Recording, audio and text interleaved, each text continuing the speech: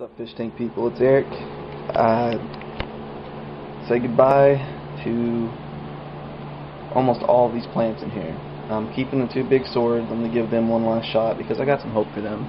They're all still pretty healthy. There's a few leaves like this one that are looking kind of bad, but I'll just remove those as uh, as they grow new ones. But this thing, this big one right here in the middle, shoots out plants all the time. I mean, I trimmed. See how big they look, I, and I trimmed a bunch of leaves off of them yesterday, like 20 or 30 uh, between the two. But I just I can't get rid of them. These down here won't be too big of a deal. The uh, crypts and and uh, probably gonna keep a couple of these, the bigger ones. Those are my uh, those are runners off of the one in my five gallon over there. Um, so I'm probably gonna keep a couple of the bigger ones here, and I might keep the uh, healthier of the two Anubias. Um, these right here are probably going to be gone. Um, I don't know yet about that. I, I, don't know. It's going to be hard to get rid of all of them. I got to figure out which ones, but um, because that that crypt right there in the back is really healthy. It's the probably the healthiest plant I have. This one right here, it just started dying. Don't know why, but um,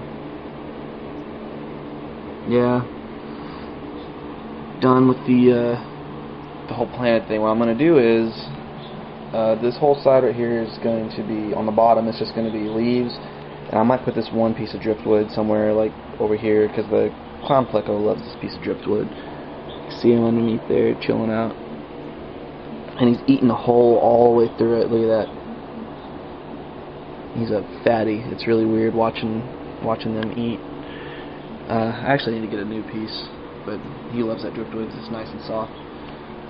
Um, the driftwood I have, the new pieces are going to be right here in this corner like that, and they're going to spread out to the, either they're going to go behind the, the uh, sword here, or they're going to go in front. I haven't made up my mind yet, but yeah, I mean look how, look at this.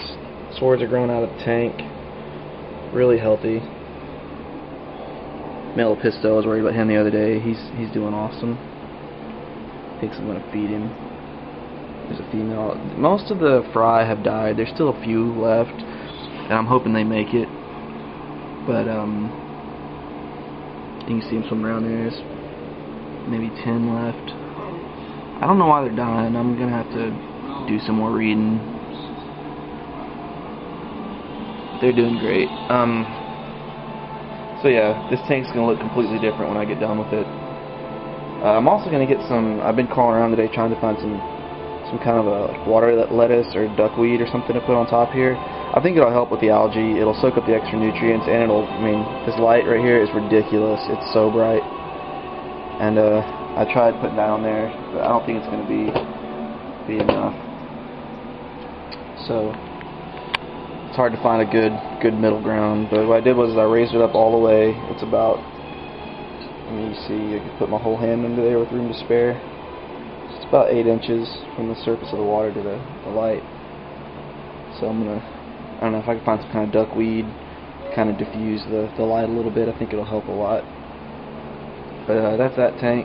Go over here. Oh, watching Lord of the Rings. We just got a new uh, TV. I wanted to check out what it looked like on Blu-ray. It's my favorite movie, by the way. Um, this tank. these little guys. Here, what's up? These guys dig a lot. They love to do work. Um,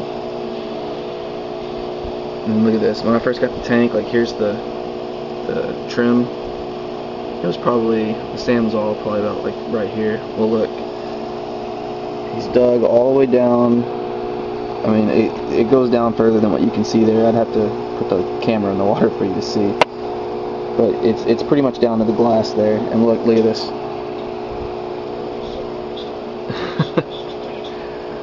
I mean, that's a that's a busy fish. See that little mountain they made right there? Kind of sucks because I can't see the fish as well, but makes him feel more comfortable, so I just left it, and it looks natural. But you see they've dug out all underneath the rock there, too. Um, This one likes to dig under the rock. The I think this one's a female. She she dug her out a little place. See where it kind of the rock kind of comes out right there. Well, she dug her out a place right there, and if you like watch, I'll scare her. She'll run. See that? She ran back underneath there. Can't even see it. She hides in the shells too, but I mean, look at this. They they bury shells. This shell, that's the biggest one in the tank, and they're burying it. But yeah, they're so cool. Um, so yeah, this tank's doing good. I've been getting ammonia spikes in it, but water changes help that. So, and I got these little snails. I remove them when I see them. I caught one laying eggs the other day, and I was like, oh no. Grabbed it and got rid of it. But uh, I don't really mind them that much because they kind of help clean up the extra food. I do overfeed a little bit, so they, they help. So I'm not real worried about it right now. Um, this tank's doing fine. Uh, doesn't look quite as lush because I, I had all those runners coming out of here. What's up, Pistol? She's cool, man. I say that every time I film this tank, I know. Um, same thing with this tank. I've been having some ammonia problems, but water changes are uh, helping. And this is kind of what I did to fight it. I showed y'all this in my other video, but I put put this vine in there and check it out. It's only been in there a few days. It's already got a new leaf growing. So I think it's going to work. Um,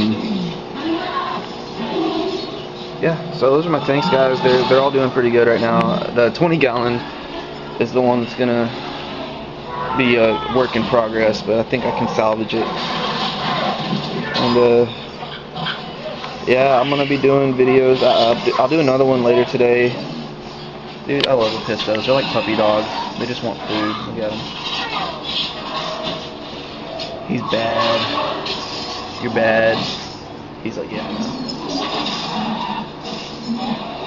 Anyways, uh, fish. I know what I'm gonna do for for dither fish in here now. Um, once I get it all set up with the driftwood and everything, uh, I'm gonna do a small school of cardinal tetra, maybe six or seven, and I'm going to do a small school of um, Cory cats. Which I don't know. I'm kind of not sure about that because Corys will eat a eggs, and I am gonna get these guys to have a successful brood sooner or later. Um, there's still a few in there, so that's good. Um, I want to get rid of the plecos because you see all that crap back there on the ground. That's all from the plecos. I love plecos. Don't get me wrong; they're one of my favorite fish, but they just eat and crap nonstop. That's all they do. So uh, get some kind of other substrate feeding fish. Corys would be great if they don't eat the eggs. But I'm pretty sure my my little female here will beat them up if they get too close. Anyways, guys, sorry I kind of long good, but that's what's up. Going today to try to find some duckweed, and uh, let y'all know how everything goes. Later.